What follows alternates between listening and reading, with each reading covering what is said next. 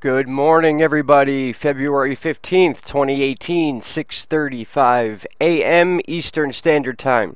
All right, we are going to be talking about the cyclones again today in this video. But first, a real quick look at current temperatures in the U.S. The Northeast will be getting a couple warm days, but we will be seeing a small to moderate possible snow issue going on over the weekend more along the uh, northeast coastal states. Uh, still need some more time to watch to see how that develops. Uh, we do have some big fog issues going on right where my cursor is, right, be right below Lake Michigan here, uh, which could last throughout the entire day. We have major fog going on down in the areas of Florida, all the way from Louisiana, the coasts, all the way through Florida um, at least throughout this morning. So those of you that live in those areas, please be aware of that if you are not already. Um, again, warmer temperatures uh, for the next couple days, but we do have another cold front that is moving through that could bring some snow. I'm not positive on any major snow systems. I do know we are looking at a 1 to 3 inch issue over the weekend, um, again along these coastal areas here. So I'll dig into that um, over the weekend, which I have free to make videos for you guys. But we are also checking out Cyclone Gita once again. Uh, we are at 105 knots right now, which is about 120 mile per hour winds.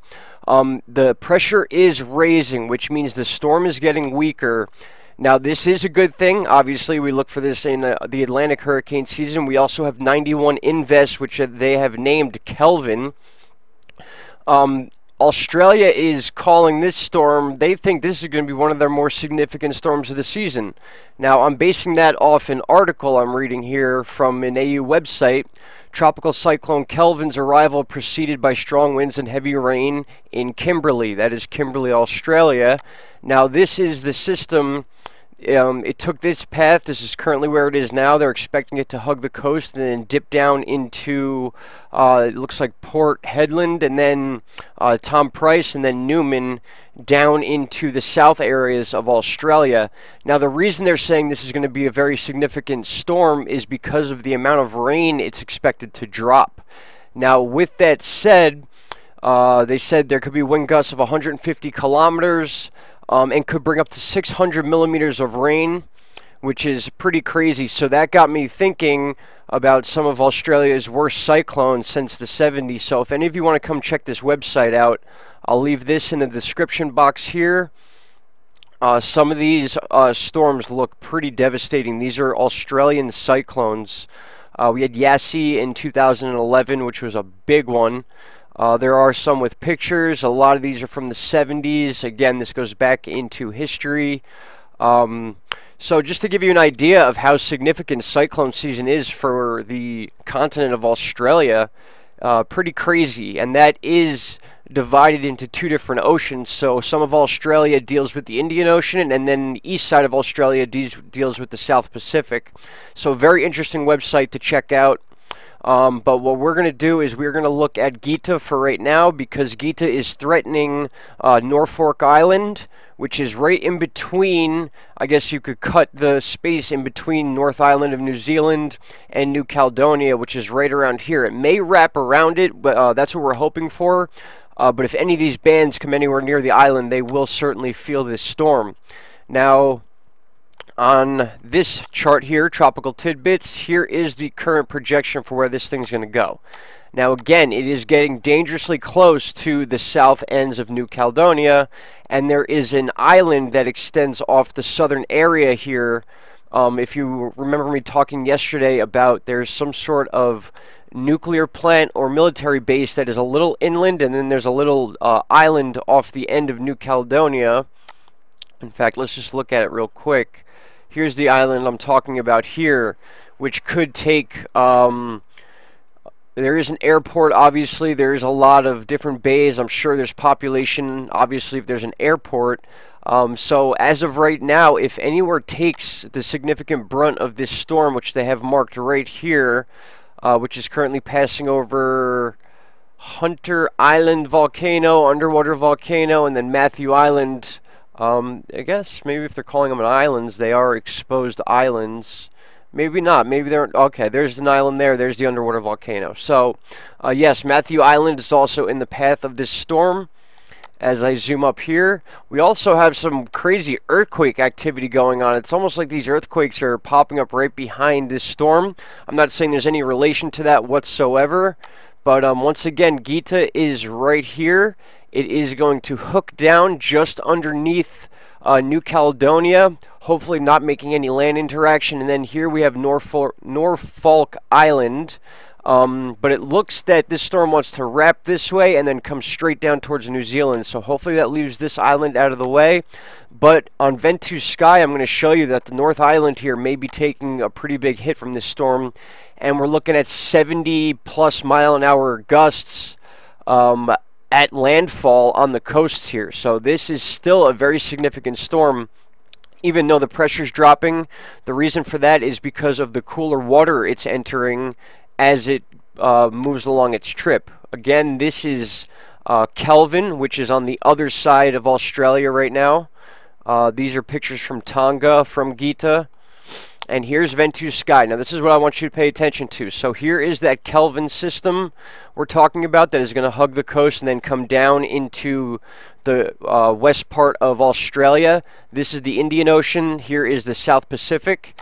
And then I'm going to zoom in a little bit here, and you're going to see another system develop. It's going to come right out of this area. Just as Gita uh, hits New Zealand, we see another system come out from this way uh, which we may be having to focus on a little later. So I'm going to move through time here. This would be the 16th, and I'm at 10 meters above the ground right now. So we are looking at 85 to 90 mile an hour winds um, as this thing passes underneath New Caledonia. Here is the 17th, and you can see it does this hook this way and it wants to just it, it just seems to want to come right into the North Island or right into the gap here hopefully wrapping around Norfolk Island, which is a very small place, would take a lot of damage from this storm if it does hit it. It's almost a this is this turn seems to be getting wider to me.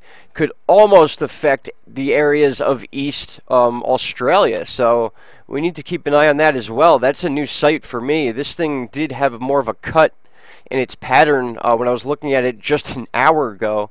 But we can see by Tuesday the 20th let me back up now to hourly, and we're going to see exactly when this thing wants to touch New Zealand. Let's move to 7 a.m. This would be Eastern Standard Time, so you can do the conversion yourself. This would be 1 p.m., 4 p.m. So around 4 p.m., we're looking at 70, 80.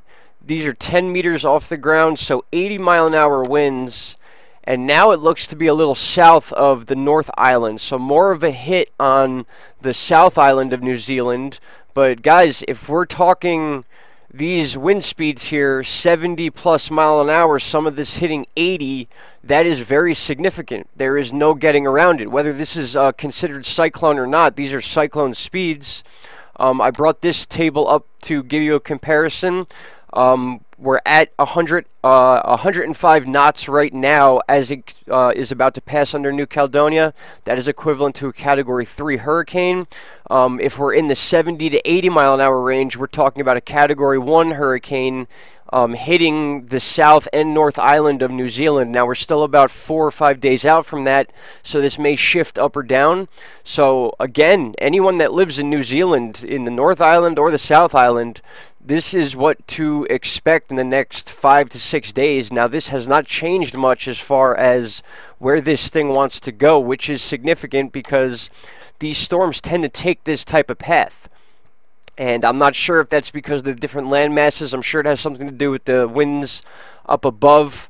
Um, if you were to change this to a higher altitude, let's say 500 meters, you get a better idea of steering winds, and you can see how winds come from the uh, the east to west here. They dip down, and it's almost like this this uh, whipping board. So any of these storms that form out in this area, they come down, they come up. That's why we had to deal with Tonga getting hit, and then Fiji, and then they come down over past uh, the under part of New Caledonia, and then they just come straight down into New Zealand. So New Zealand's just in one of those spots during cyclone season that, especially if they form out here, chances are it's going to follow this path um, with these high level winds steering it uh, without any shear wind uh, breaking it down. When you have shear winds, those are 30, 40,000 feet in the air. Those could rip these storms apart before they get to certain land masses, but that, uh, that does not seem to be the case for um, Cyclone Gita here. Now, we do need to keep an eye on this um, even afterwards because as I move into the 20th, let's change this back to 10 meters above the ground. Now you're going to notice once this storm um, passes through New Zealand, we're into the 21st. Here's the 22nd, and now we have this system that just peaks out through here, and then watch what happens through the 23rd and 24th. This thing gains strength here, and it seems to want to stick to, uh, well, not so much stick to, but it is closer to the northeast coast of Australia. So again, Australia has two different oceans to deal with during cyclone season. We ha they have the uh, the Indian Ocean over here, and then we have the South Pacific here, and then we have uh, that invest Kel that they have named uh, Kelvin, which is forming and riding the coast currently right now. Um, the reason for that being so significant, even though it's only 20 knots, which is about 23 to 24 mile per hour winds, it's going to dump a ton of rain in these areas. Uh, we'll jump to Google Earth again real quick and show you where those areas actually are. Uh, it's about right around here. So this thing is going to ride the coast of Australia, and then it's going to come down right into this area here. Um, the Her Hermeshley Range, I guess this is a mountain range here. I'm sorry, guys, my geography is off. I will and am getting better at that. Um, but Australia just has literally cyclones all around it right now. And if I bring you to this earthquake chart, I just want to show you um, we've had activity, literally a 5.0 earthquake in Tonga. This is two days after Gita has basically decimated the island. They're still cleaning up. They will be cleaning up for a long time. And then we had an earthquake yesterday in Fiji. So, um, no comparison. I'm not saying that these uh, cyclones are causing earthquakes. It's highly unlikely. There is a big fault line here. That is likely the reason for these earthquakes. But it's just interesting how the storm has passed these two areas, and now we have an earthquake uh, which took place overnight or early this morning in Tonga. And then yesterday on Valentine's Day, we had this 5.0 in Fiji, which just got the south end hit with Gita. So let's see what else I have for you here. That is Tonga. We went through Ventusky. Now, as far as the Gulf goes for uh, the Atlantic Ocean, guys, we are heating up quick. These are above average temperatures. Um, some of these areas are already 80 degrees just around Jamaica, and you can see this water beginning to bleed into the Gulf. And as you see this line here, you're going to see these temperatures rise up in this area. Obviously, the northeast, um, right off the coast, sea surface temperatures are still very cold. That is normal for this time of year. But we're talking about storm formation, and all you need is that 80 degree weather or the 80 degree surface temperatures, and we have it right now as we speak. So here we go. This is the KLY um, STRON9 water temperature chart for today. This was 5.07 a.m., 81 degrees, and then these oranges are 80, so we have 80 degree water bleeding into the Gulf.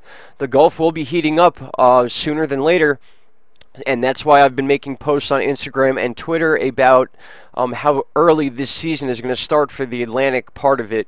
Here's another chart giving you an idea of the water temperatures, and also this is a good way to show you why these storms that we're talking about right now, like Gita, once they make that southern hook, they start to widen out because the water's cooler here. So you get a wider wind base. They do weaken, but it covers a bigger surface area, and we're talking 80 mile an hour winds at contact, um, whether it's the North Island or the South Island of New Zealand. So please, anyone in New Zealand, prepare for this storm. It is coming one way or another. It will make uh, some sort of landfall in New Zealand. Um, we're just looking and watching the. The speeds at which this is going to happen. And as of right now, we are pushing uh, close to 80 mile an hour winds at landfall in the next five days. I want to say that could change give or take 24 hours, which is why I uh, post on this daily. Um, that's all I have for you for now, guys. I will do more local weather. Again, the Northeast will have warmer weather today and possibly tomorrow, but then we're going to be going back into a cold front, unfortunately, which may bring some snow. And then shortly after, again, uh, Gita passes through New Zealand. We have another system projected to pop out here, and we're going to see what happens with this one as it looks like it's heading once again towards New Caledonia after riding the northeast coast of Australia. So, Australia, you are very busy. Hopefully, this storm Kelvin over here doesn't bring too much rain, but they're expecting it to be very significant. So, Australia, New Zealand, New Caledonia, you're all on watch. Also, Norfolk Island. That is it for now, guys. I hope you have a great day, and I will bring you more videos this afternoon or later on this weekend. Thank you so much. Bye bye.